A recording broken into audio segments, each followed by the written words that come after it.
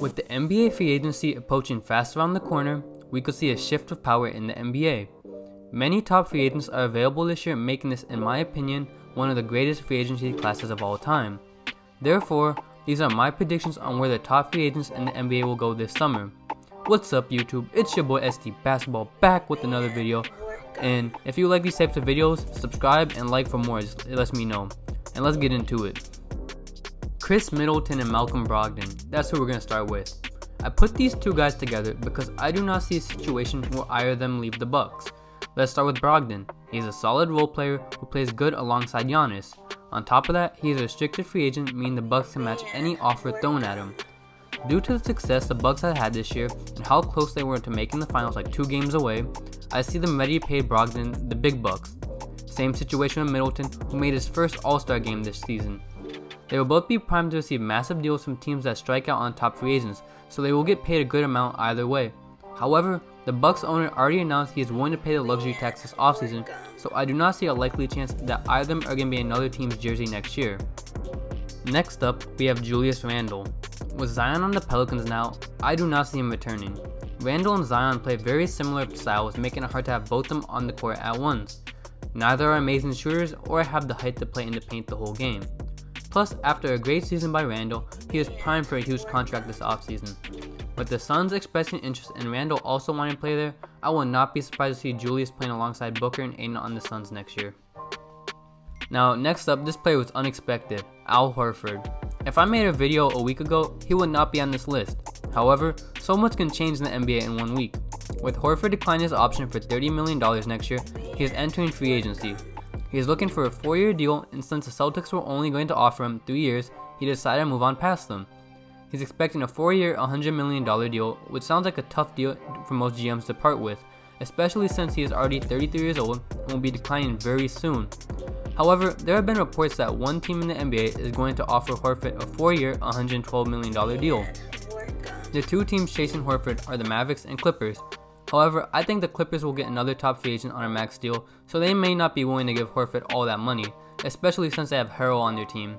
As a result, I think Horford will end up on the Mavericks since the Mavericks need a big alongside Kristaps and he will definitely help the young team and make a run to go back in the playoffs.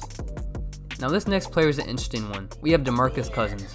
This is interesting because at his peak, DeMarcus is an all-star caliber player, and two years ago, he was debated as the one of the best centers in the league. However, the Achilles tendon tear has cost him a lot of money. He had a lackluster finals, got hurt in the playoffs, and seemed to make the Warriors worse when he was on the court. That is not saying he's a bad player, however. He had good moments throughout the season. He just needs a situation where he can regain his ability by getting touches and getting back in rhythm. I don't see Cousins getting signed early on either. After missing out on a lot of money last summer, I think he'll be more focused on the money rather than winning. I see him being in a situation on where he gets paid as a consolation prize for teams that strike out. In my opinion, I think the Knicks will be the destination he goes to. With not that much free agency attraction and the whole offseason plan is now hinged on Durant, I could see him throwing a massive deal to Cousins to try and salvage the offseason they were supposed to get Durant, Irving, and Zion. Next up, we have Klay Thompson. I don't think there's much debate here. He is a Warrior for life, and according to the Warriors, he will get a 5 year deal from them. He will get his money, time to recover from the ACL tear, and gets to continue his legacy as a splash brother with Steph. Unless the Warriors try and shortchange him and give him less than the max, which I highly doubt, especially if they lose Kevin Durant, I think Klay will be staying in the Bay. Now we have Kemba Walker. Kemba finally gets his opportunity to leave Charlotte and go to a winning organization. With the interest from Mavericks, Lakers, and Clippers, and now the Celtics, I see the possibility of him leaving. However, Kemba loves the Charlotte community. He wants to win with that team, which I doubt he can, but as he even stated, he is willing to take less than the max to stay. Kemba is eligible for a $210 million deal with for 5 years, which I see him taking since he's already 30 years old, and he's not going to improve greatly after this, so he might as well get his money when he's at his peak. Now we have Nikola Vucevic. Vucevic has had a great season making the All-Star game for his first time ever. The Magic made the playoffs for the first time since Dwight left also. The Magic will be willing to match and outpay any team to keep Nikola, whether that's the Celtics, Lakers, Mavericks, or Clippers. I think the Magic will give him his money and will be more than happy to come and build on what last season was because, once again, they have not been to the playoffs forever, so they're going to try and keep it. Now we have the bigger name players. We have Tobias Harris. He is another player who just had a good season. he's a solid scorer, and the Sixers' goal is to keep at least one of him or Butler, and preferably both after what they gave up in the trades.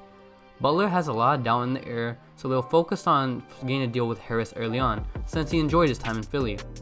He is due for a big payday, so look for the Celtics to ink a big deal quickly with him to get him off the market before he gets outbidded by other teams. Now, this is the next player where things get interesting. We have Jimmy Butler here. He has already stated that he wants his own team and wants a big payday. Look for Jimmy to go to a team that does not have a bona fide star on their roster. That fifth year by the Sixers is enticing him, but I think Jimmy will be able to make it up with endorsements in LA. I see Jimmy going to the Clippers, who have a solid team and are in need of just a star player. He will get the attention of a star player and will play alongside players like Patrick Beverley, who will fit great alongside and make a team playing elite defense. He will get his 4 year max and head to the Clippers this offseason. Next up, we have Kyrie Irving. Kyrie has already said he is not interested in returning into Boston and will not even return their phone calls and he's currently ghosting them right now. He's been heavily linked to Brooklyn. He signed with Roc Nation, a Brooklyn based agency owned by Jay Z. He is from New York, and his camp says he is headed there. I see the interest in LA also, but you can tell he does not want to play under LeBron's shadow anymore, as the reason he left Cleveland to Boston the first time. As a result, I see him being a Brooklyn net next season. Next up is D'Angelo Russell, and I felt like if I revealed this one, you know, earlier, it would ruin the Kyrie prediction. So let me talk about it now. Since they're gonna get Kyrie Irving, they will announce the rights on D'Angelo Russell. I do not see the Nets needing to keep both of them because both of them have the same skill set. They're both score first players and they really play alright defense, and I really don't see them fitting alongside of each other. The Nets will also move alongside him because Irving, he can also bring another max free agent with them, so they might just try and get another big name player. So the other three teams interested in D'Angelo is the Lakers, Suns, and Timberwolves. Minnesota does not have the cap space necessary to get him and will have to do a lot of maneuvering to get a deal to sign him, which I do not see happening, so I think they are out of the equation. Phoenix said they are not interested through the rumors from uh, people surrounding their camp, especially because they're trying to re-sign Kelly Oubre. However, they do need a point guard, and D'Angelo is close with Devin Booker, so also keep an eye out on them. The Lakers and Russell are also interested in one another, but the Lakers do not have max money, so I don't know how that will work, and they may be better off building supporting run cast around LeBron and AD. But out of all of them, I think the Lakers is the most likely one to happen because the only issue D'Angelo had with the Lakers was Magic Johnson, and he's gone. And maybe D'Angelo might be willing to take less than max money to go to the Lakers, depending on how the interest in the market shakes out. Now we have Kawhi Leonard. This is a top free agent in my opinion this year. But for him, it's coming down to a two team race the Clippers and the Raptors. The city of Toronto loves him. He has a better supporting cast than he would in the Clippers, and they already won a ring and can offer him a five year, and he can make more than $200 million uh, in total in that deal. Even though I see Kawhi from like the SoCal, I see the connection there, and they also have a solid team. I think the city of Toronto has more to offer, and it's too much to turn down. Like, look at that fan base. He's a legend already over there. As a result, I see Kawhi Leonard staying and re-signing with the Toronto Raptors. Next, we have Kevin Durant. His Achilles tendon tear threw a wrench in everything this offseason. Now, I say the race has come down to three teams Brooklyn Nets, Golden State, and the Knicks. Now, Golden State has to resign everyone, and in order to do that, they will have a $350 million bill next year due to luxury tax and having the three maxes of Klay, Steph, and Durant if everyone does come back. As a result, I don't see him being a serious contender because the financially that's a really expensive deal, and the highest payroll before that was the Cavs after they won the championship, which is 170 million. On top of that, there have been reports that Durant is mad at the organization for letting him play game, I think, 5 when he was hurt very badly. Thus, it comes down to the Knicks and Brooklyn. Brooklyn will have Kyrie and allows Durant to sit out a year and recover. He has met up with Irving twice to discuss teaming up, and with Brooklyn having a better team and also two max spots, I see him going to the Nets. Like the Knicks are kind of like a, a dumpster fire right now, you know. He will be in New York either way, but be on a better team as a result. That's who I think the top free agents in this year's class are going to go to. Thanks for watching, don't forget to subscribe, hit the bell to get notifications when I post, and I'm out.